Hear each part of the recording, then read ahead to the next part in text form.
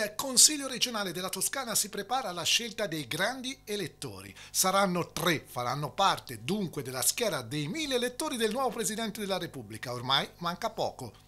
Poi riprenderà l'attività del Consiglio regionale inevitabilmente condizionata dall'andamento della pandemia. Vedremo i primi provvedimenti in discussione in aula. In questi giorni si è ricordato il decimo anniversario del naufragio della Costa Concordia e alla vigilia il Consiglio regionale ha promosso un confronto anche con il protagonista dei soccorsi di allora, Gregorio De Falco, oggi senatore.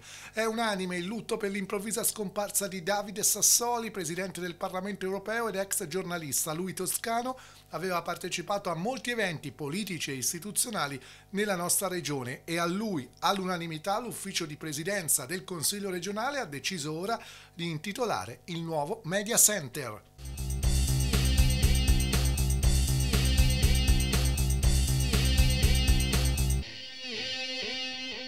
Di Davide Sassoli, volto del TG1, poi passato alla politica e dopo le ultime elezioni del 2019 eletto al vertice del Parlamento europeo, tutti apprezzavano il carattere mite e la gentilezza d'animo. Era un tenace sostenitore di un'Europa forte e unita e dei suoi valori fondativi di libertà e tolleranza.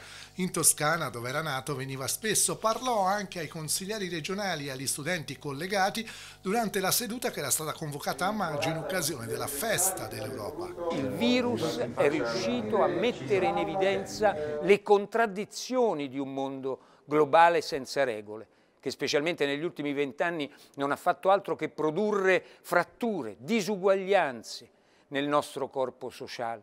Tutto ciò ci pone dei grandi interrogativi come cittadini, come decisori politici. La risposta è che non possiamo tornare al mondo di prima, mi rivolgo soprattutto ai giovani studenti che sono collegati, che saluto. La pandemia non può essere una parentesi, ma deve essere considerata un'occasione per cambiare, per progettare insieme un futuro più giusto, con meno disuguaglianze. Non si tratta di recuperare le ricette del passato, ma di leggere con lenti diverse le sfide della contemporaneità. Non dobbiamo avere paura della complessità e non è più accettabile. Un'economia senza morale, uno sviluppo senza giustizia, una crescita a scapito delle generazioni future. Il destino dell'Europa è nelle nostre mani, oggi più che mai, perché dobbiamo affrontare tante sfide che la contemporaneità ci mette davanti e per affrontarle c'è bisogno del contributo di tutti e credo che la Toscana non solo farà la sua parte ma saprà offrire a tutti un esempio di come vivere, di come interpretare le sfide di questo tempo. A Davide Sassoli, l'ufficio di presidenza del Consiglio regionale, all'unanimità ha deciso di intitolare il nuovo media center per i giornalisti e gli stessi consiglieri regionali. Sarà un bel modo, dice Mazzeo, di ricordare sia la sua esperienza giornalistica, sia l'impegno e il senso di appartenenza alle istituzioni che ha sempre avuto. La proposta è stata concordata con il presidente della Commissione per le politiche europee e le relazioni internazionali che intanto, a Regionando, esprime il proprio dolore e il cordoglio per questa scomparsa. È una perdita dolorosissima, una persona che ha fatto cose importanti, importantissime per eh, la, l'Europa, eh, che ha fatto cose molto importanti per l'Italia e che è stato molto vicino alla Toscana, non soltanto alla regione toscana, ma alle toscane e ai toscani il ricordo di una persona per bene, di una persona buona, una persona che aveva saldi valori e principi che non si vergognava a rappresentare, però sempre con un tratto di grande gentilezza. È una persona che ha costruito anche forse un'Europa diversa e credo che è per questo che molti adesso lo piangono. Sassoli sarebbe stato anche un interlocutore diretto e prezioso molto presto proprio della Commissione. Lo avevamo invitato per venirci ad illustrare un po' quello che è il percorso Europa, PNRR, eh, Toscana, Italia. Eh, purtroppo questo non è stato, abbiamo perso veramente una, una persona eh, pulita, eh, mi sento di dire questo, una persona, un grande professionista, eh, un uomo di grande cuore. E devo dire che sentivo nelle, nelle interviste rilasciate nei vari telegiornali una ragazza proprio da Bruxelles che eh, sentiva dolore nell'aver perso il presidente, appunto il presidente Sassoli. Ora che una ragazza no, da Bruxelles esprima un dolore così, no, un sentimento così forte, questo vuol dire eh, che la persona era veramente di grande valore. Ma perché è importante che anche una regione come la nostra mantenga un faro acceso sull'Europa e che ci sia una commissione specifica per discutere di questi temi? Beh, perché ci riguardano, perché ci riguardano direttamente. Noi dobbiamo, eh, probabilmente avremmo dovuto, dobbiamo, non so se abbiamo ancora il tempo, però di fare una fotografia di quella che è la Toscana, non spacchettarla in quello che sono città metropolitana, la costiera, la costa, eh, la Toscana Sud, la Toscana Nord. Deve essere non più centrale, eh, cioè la, la regione guida dell'Italia centrale, ma deve essere la regione che si aggancia all'Italia del Nord, ma soprattutto all'Europa che produce. È un rapporto non soltanto importante, mi verrebbe da dire fondamentale, sappiamo quali sono le grandissime sfide legate ad esempio al PNRR, ma anche eh, ai fondi europei. È chiaro che costruire rapporti saldi, stabili e soprattutto una consuetudine è assolutamente fondamentale. La Toscana eh, è sempre stata una terra e un'amministrazione regionale molto attenta al rapporto con l'Europa, sicuramente anche con le grandi opportunità dei provvedimenti presi negli ultimi tempi, eh, questo rapporto deve essere intensificato e questo è lo scopo del nostro lavoro. In quell'occasione del maggio 2021 intervennero anche il presidente del Consiglio regionale e quello della Giunta. Ecco in sintesi le loro parole. L'Europa è luogo di opportunità, è luogo in cui le nostre ragazze e i nostri ragazzi devono costruire il loro futuro. Certo, l'Europa va migliorata, ce ne siamo resi conto in questi terribili mesi della pandemia e oggi questa iniziativa eh, che ha avuto l'onore di aver presenti con la loro prolusione il Presidente del Parlamento europeo David Sassoli e il Presidente Deusè danno il senso e il valore simbolico di quanto sia importante mantenere un legame forte tra la Toscana e l'Europa, di quanto la Toscana debba lavorare per essere sempre più eh, un luogo in cui poter mettere a terra le tante iniziative che nascono a livello europeo. Oggi che si parli di vaccino o che si parli di recovery fund, qui veramente in positivo perché la speranza della ripresa e della ripartenza nasce da questa iniziativa che è partita con il protocollo sui 209 miliardi del luglio scorso firmato dal Presidente Conte, diventa l'elemento per la ripresa, la resilienza, la ripartenza del nostro Paese. L'Europa è sempre più nelle case dei nostri cittadini. Lo stesso Gianni sottolinea anche che noi qui in Toscana l'Europa ce l'abbiamo nel DNA, è nella nostra grande cultura. Non a caso a Fiesole ha sede da quasi 50 anni l'Istituto Universitario Europeo. Il suo presidente allora rilancia la sfida e la mano tesa alle istituzioni toscane. Siamo molto consapevoli di eh, avere un grande debito eh, nei, nei confronti di una regione che è stata con l'istituto sempre molto generosa e che poi ci è stato molto vicina in un periodo eh, difficile per noi come per tutti, quello della pandemia.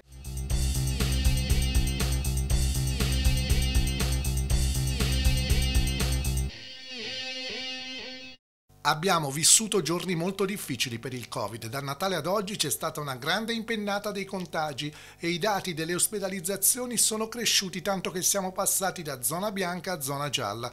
La Commissione Sanità continua il suo lavoro di monitoraggio settimanale della situazione tenendo conto anche della progressione della campagna dei vaccini. Prima domanda allora, come sta reagendo il sistema a questa nuova fase? Il sistema toscano sta reagendo ovviamente con grande affanno perché i numeri sono importantissimi.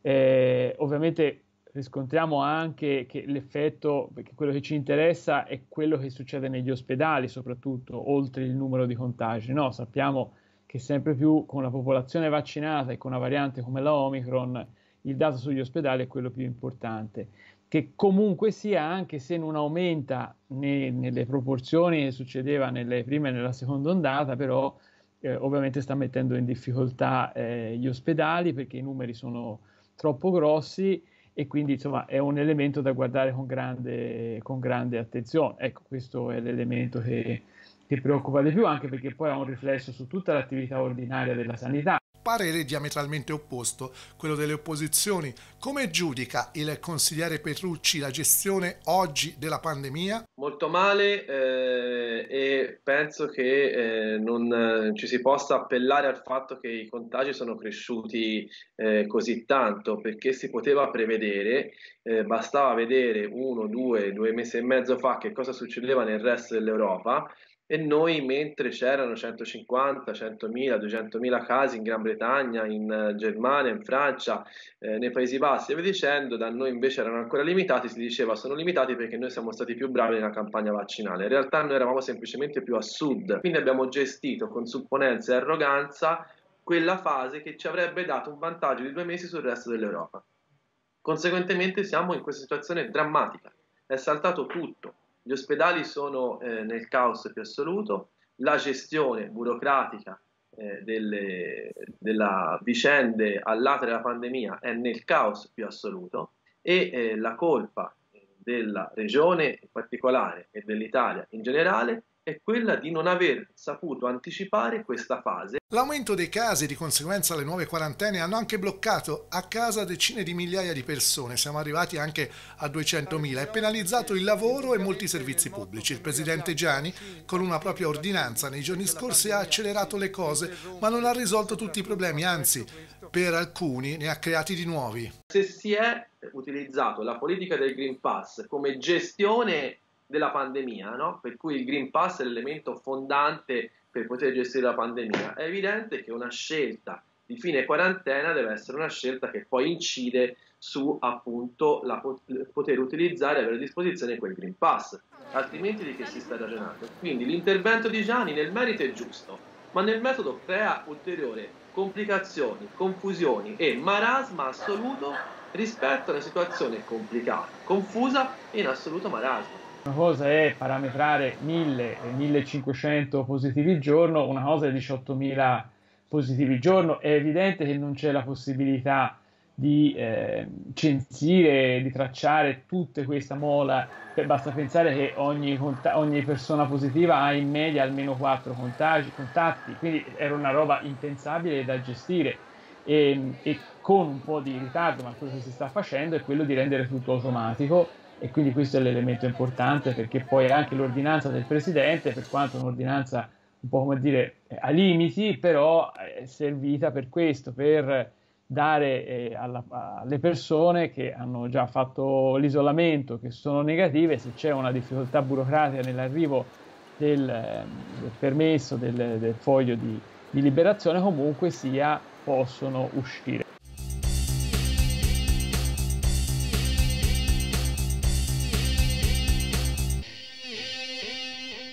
Ci siamo, il Consiglio regionale il 18 gennaio dovrà votare i tre grandi elettori del Presidente della Repubblica. Il Presidente dell'Assemblea Antonio Mazzeo ha spiegato in diretta a Telegranducato nella nostra trasmissione Il mio Consiglio come avverrà questa scelta. Saranno eletti due mm, membri della maggioranza e uno dell'opposizione.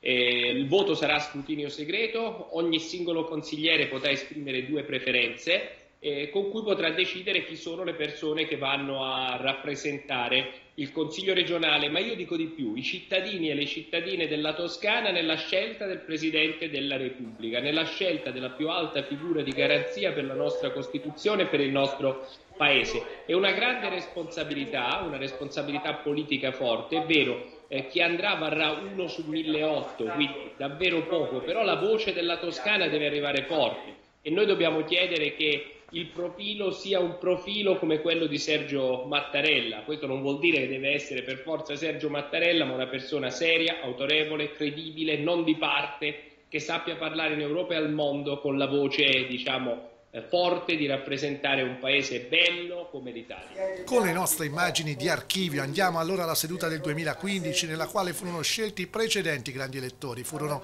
Enrico Rossi, presidente della Giunta, Lucia De Robertis, vicepresidente del Consiglio e Stefania Fuscani a rappresentare le opposizioni. Mancavano pochi mesi alle elezioni regionali. Due anni prima, per il secondo breve mandato di Napolitano, dalla Toscana furono inviati a Roma lo stesso Rossi, che era già presidente della Giunta, il presidente dell'Assemblea Alberto Monaci e per il centrodestra Roberto Benedetti. Nei nostri telegiornali di martedì e nella prossima puntata di Regionando ci sarà un ampio resoconto di questa seduta. La seduta sarà dedicata poi naturalmente anche ad altri temi. Nell'ordine del giorno ci sono il bilancio dell'azienda Ente Acque Umbre Toscane e quello del Parco delle Alpi Apuane. Tra le interrogazioni ci sono quelle sui ritardi nella comunicazione ufficiale degli esiti dei tamponi Covid, sulle difficoltà in questa fase dei medici di famiglia, sulla situazione nelle RSA e poi c'è un'attesa comunicazione della Giunta su un'altra grave crisi occupazionale, quella dell'ortofrutticola del Mugello a Marradi. Qualche nuovo spiraglio adesso sembra aprirsi. Una delle prime commissioni a riprendere i propri lavori dopo la pausa di Natale è stata quella per le aree interne che a fine anno aveva anche accolto positivamente l'attenzione riservata nella nuova manovra finanziaria. Direi di sì, infatti l'aver istituito la commissione aree interne e periferiche dimostra che la regione toscana ha attenzione in questo senso. Io faccio parte della commissione aree interne e devo dire che anche nell'ultimo bilancio sono stati stanziati abbastanza eh, diciamo risorse per le aree interne ma oltre a questo la regione toscana chiede anche una revisione un po' al, a livello nazionale delle aree interne perché ormai la revisione risale a diversi anni fa e quindi bisogna cercare di eh, mantenere quelle che abbiamo e anzi magari aumentarle. Abbiamo finanziato il fondo per gli investimenti dei comuni e delle unioni dei comuni in area montana per 2 milioni di euro. Partiamo subito col, sul 2022 con questa cifra, vedendo poi sulla base delle risposte che ci saranno e delle richieste eventualmente di andare a ulteriori aumenti. Così come un intervento molto importante noi lo facciamo per i comuni più disagiati, dove riportiamo il contributo ordinario a un milione di euro per questi comuni, spese fondamentali che grazie a queste risorse questi piccoli comuni portano avanti, ma una misura che mi sta molto a cuore è quella che a noi tagliamo l'IRAP alle imprese che apriranno nelle aree di crisi complesse e non complesse. E siccome purtroppo le aree interne e montane sono ricomprese tutte in questa perimetrazione, significa che le nuove attività dal 2022 avranno la possibilità di avere uno sgravio IRA. Poi i consiglieri si concentreranno su altre questioni, avendo queste priorità, opinioni che abbiamo raccolto dai capigruppo alla fine della seduta sul bilancio di fine dicembre, risposte telegrafiche da ciascuno di loro alla luce di quella lunga discussione anche. Il Consiglio eh, riparte da dove siamo arrivati, dall'approvazione di un bilancio importante e poi eh, con eh, tutti quelli che saranno gli atti che serviranno per l'attuazione di questo bilancio e miglioramenti normativi che saranno necessari per quelle che sono le priorità che erano state della campagna elettorale e che dopo un anno ancora permangono, vale a dire la salute e il lavoro.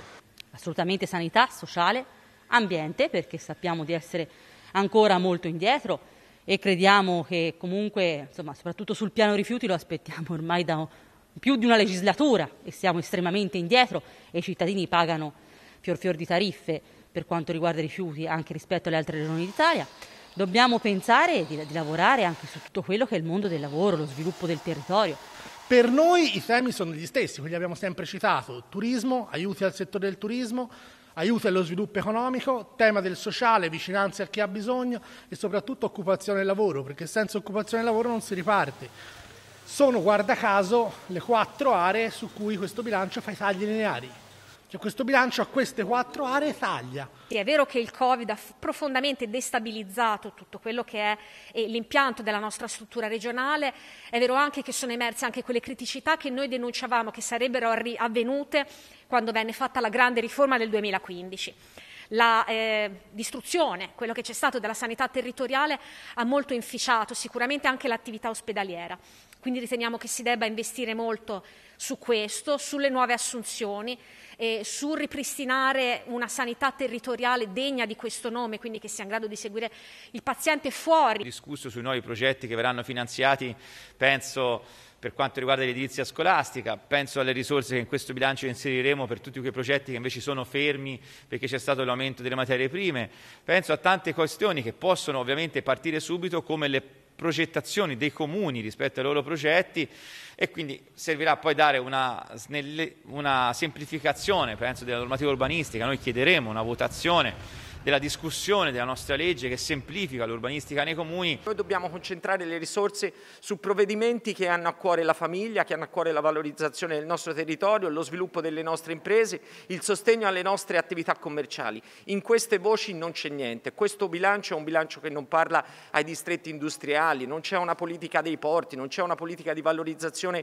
del tessuto commerciale. Ecco, è un bilancio che non ha non solo una logica, ma è un bilancio senza visione.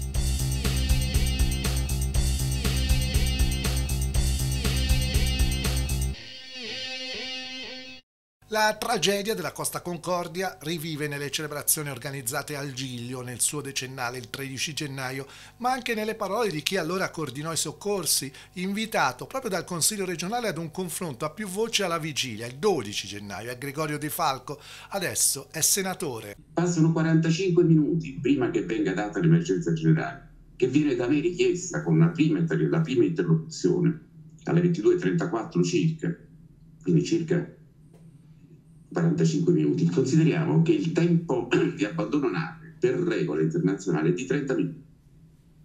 Se si fosse proceduto quindi a dare l'emergenza generale, i famosi sette fischi di continuo,